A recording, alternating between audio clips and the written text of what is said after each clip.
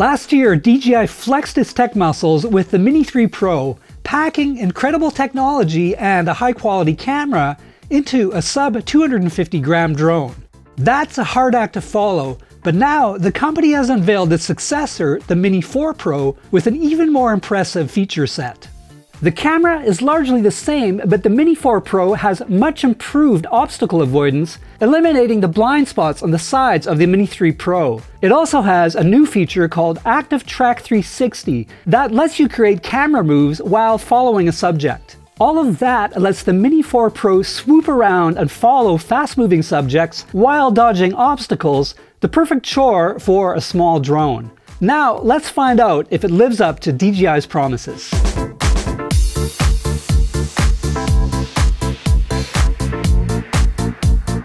The Mini 4 Pro has been subtly redesigned, but is still under 250 grams, so it can be flown without a license or registration in many regions. The top, forward, and rear facing sensors are now angled to see in all directions, and the body is a bit more streamlined.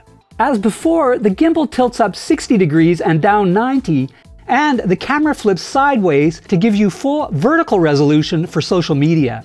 At the rear is a micro SD port, and the Mini 4 Pro has 2 gigs of internal storage for emergencies only. It comes with one of two controllers, the basic RCN2 that requires a smartphone, and the RC2 with a built-in screen. Since it uses DJI's new O4 transmission like the Air 3, it only works with the new controllers. You can also get it with an ND filter set for sunny days, which I'd recommend if you can afford it. DJI also offers a wide-angle 18mm equivalent lens attachment, but it has significant barrel distortion and can cause focus issues.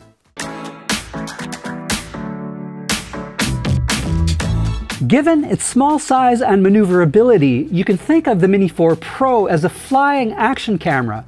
The lightweight also makes crashes less consequential.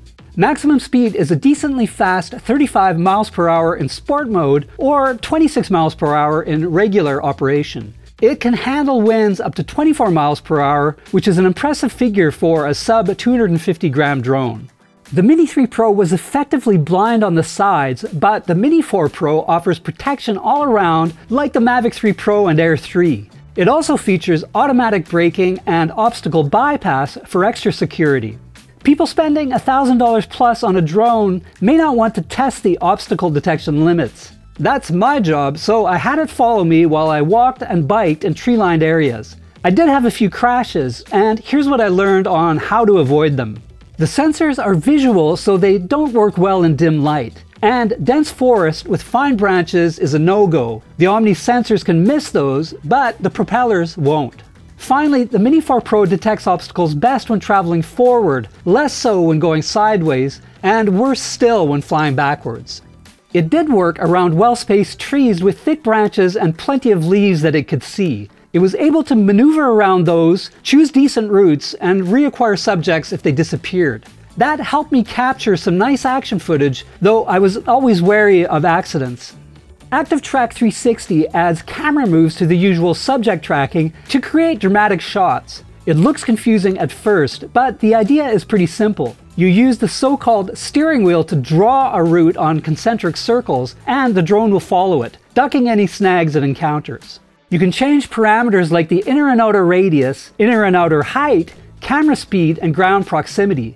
With careful planning, you can capture some gorgeous, swooping action track scenes. The usual obstacle caveats apply though, and it also adds complexity, so practice in an open area first.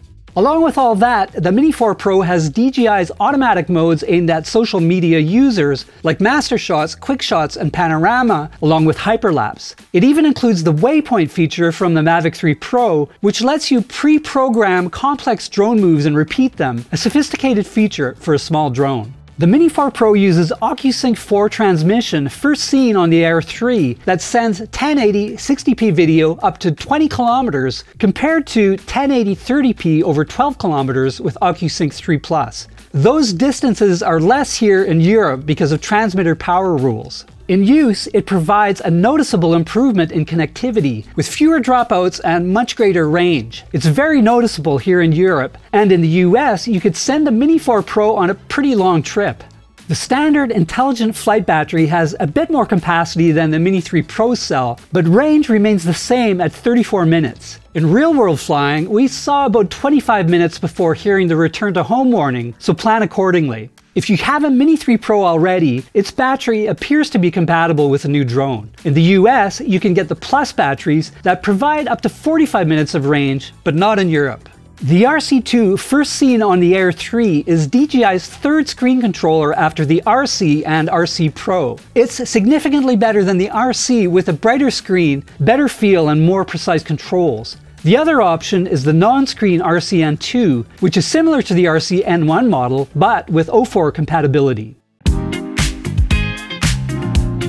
The Mini 4 Pro's camera has the same big 1 over 1.3 dual ISO sensor as its predecessor, using an identical 24mm equivalent lens with a fixed f1.7 aperture. The difference is that it now supports 4K slow-mo at up to 100 frames per second or 1080p at 200 frames per second. Both are stored as 30 frame per second slow-mo files, but it's still a nice feature for wildlife, crashing waves, and more. That's on top of 4K at up to 60 frames per second and 1080p at 120 frames per second. It has a 2 times digital zoom for 4K and 4 times for 1080p, with a slight loss in sharpness. It supports DJI's D-Log-M, which boosts dynamic range and gives you more flexibility in post. DJI also has a LUT that makes it easy to convert it to regular video. You can shoot in DJI's HLG mode, which again boosts dynamic range, but needs no post-processing. Both support 10-bit 420 capture for improved fidelity and reduced banding. Quality is the same as a really good smartphone, but not on par with the mirrorless camera or DJI's Mavic 3 Pro.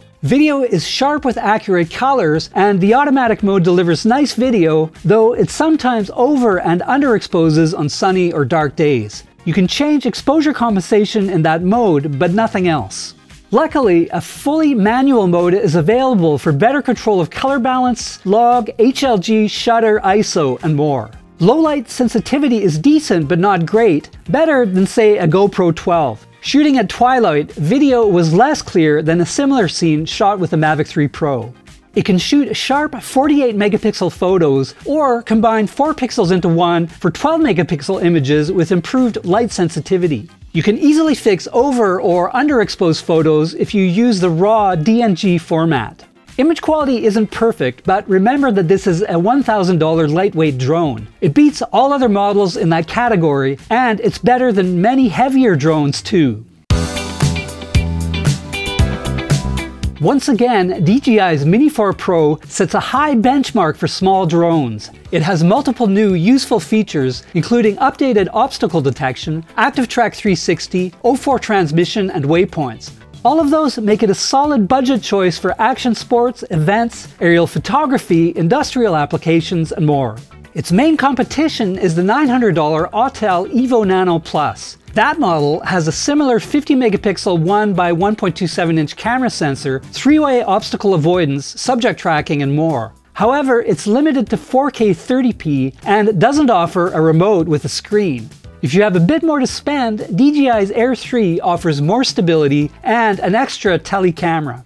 The Mini 4 Pro is priced at $760 for the drone with a battery and RCN2 controller, $960 with the RC2 controller, and $1,100 for the Flymore kit with three batteries and a charger, the RC2, a carrying case, and extra propellers. If you're in the market for a drone in that price range, I wouldn't hesitate. Thanks for watching, and if you enjoyed this video, please hit like and subscribe. And for more on technology, check out Engadget.com.